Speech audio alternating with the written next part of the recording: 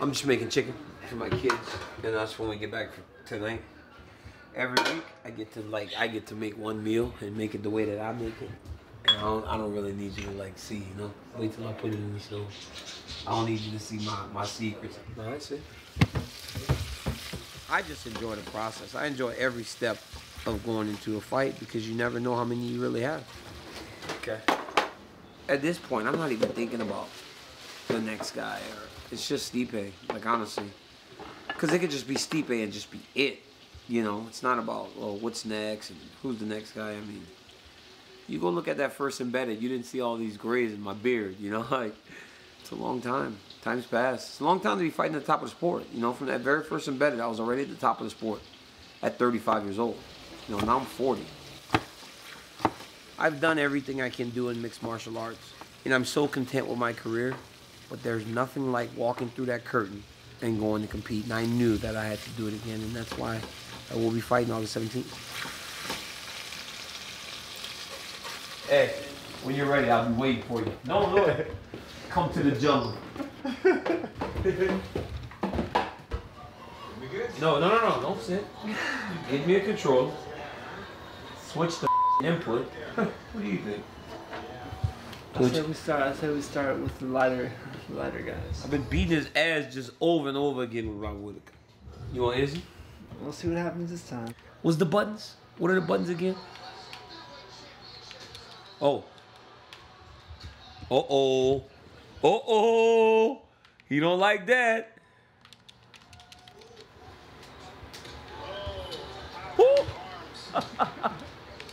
He's hurt already. Oh! There it is. There it is. First round. Hey! First round. yeah. There it is. Right, Thiago. See, he's got his oh cheerleaders. He's got his Oh, wait, wait, wait, cheerleaders. wait, wait. I beat him with Sam Alvey one time, man. No, you did. Yes, I did. Oh my god.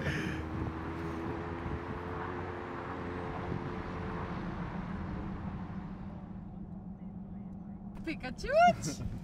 Hi. Huh. She's got so many nicknames. She's like Pikachu, Moochabbins. Who else? Moochie. Moose. Moo, Moochie Moo. The Mooster. 720, babe. Why did you bring that much money? Because you don't know what's going to be here, babe. When's if the I don't know, the Holy Grail is here and we know no one knew about it, but we did. Yeah. With our expertise, like knowledge of, of Listen, flea market. it's called the internet, babe. Um, so how, how do I do this? Like, how do I barter? I mean, not You barter. see- How do I how do I see if you- haggle? Say you want this here. Okay, the ho- the, the, I the got hall and 15 closet. on it. I don't like 15. Okay, what do you want off it? 16. You got it. Ter- I'm you, ter- you gotta like this guy. Yeah, He's uh, great. I love him. I mean, that's what I'm talking about right here. The Wiggles.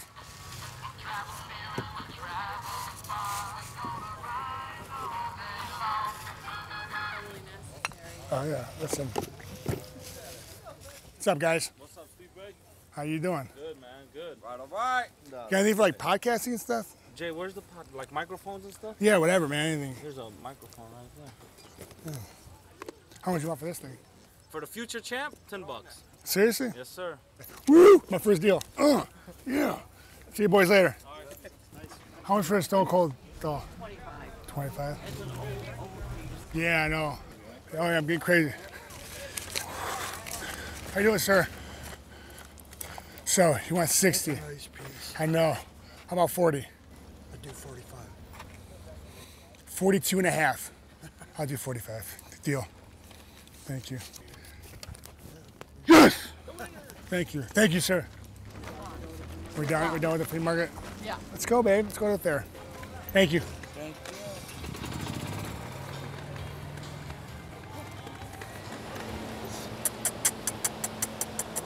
Don't get too close to the ass of the horse.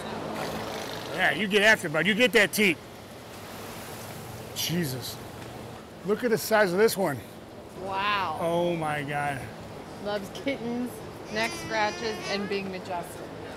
That, no, that's my kind of horse. Majestic. Look at this guy. He's chilling. Who's a good boy? Man. Say hi. Said, yeah, crazy. You get big, girl. Make sure you knock that guy out, I promise. Make sure you knock him out. I promise. I'll I'll be- Guy out. I got you.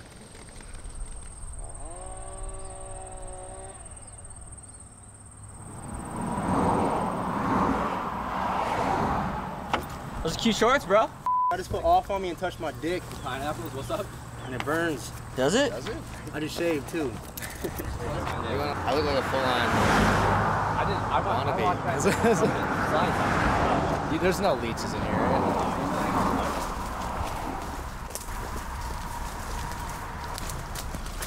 Well, it's gonna be nice and easy walking down.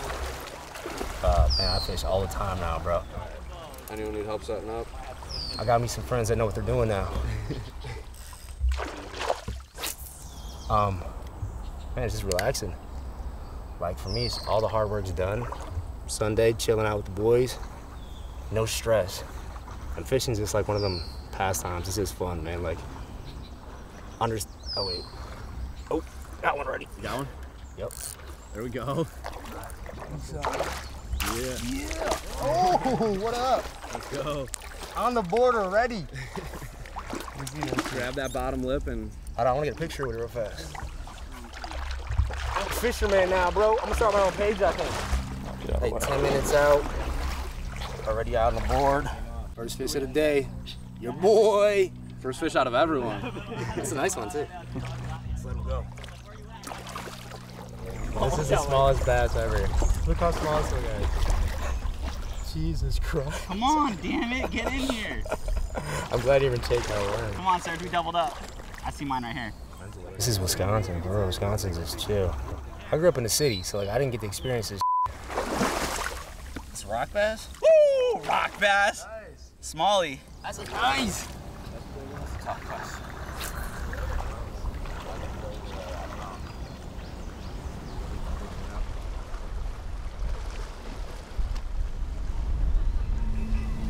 I step over and get your camera locked. Do I have to put my foot in there? No, you don't have to. It's just solid. But Even I'll- if I fall or whatever. you're he's good right here. Because really, we're just trying to get that lock. Yeah. We're not trying to get it finished right there. So, help me. Now from here, it's whatever he's gonna do. Uh, it's fight week. We're out in Corona Del Mar, hanging out, getting ready to go fight this coming weekend, Saturday. I like to try to go get my own, my own setup, try to chill out, get away from that, the whole um, atmosphere, and then uh, I got the whole team, a bunch of riders. So when I go to a fight, everybody comes. When they go to a fight, we all go. It's uh, just how, how it goes. all the boys over here, they're never they're never getting ready. They're just we're just staying ready.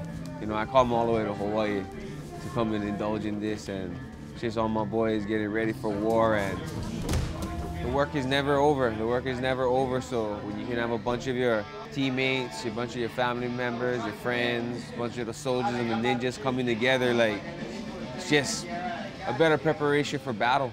You know, you can bring we can bring all this together and collaborate and get ready for war. just because you didn't have fight scheduled didn't mean you don't train. You train every day anyway. Real athletes, real martial artists, you, you don't stop training.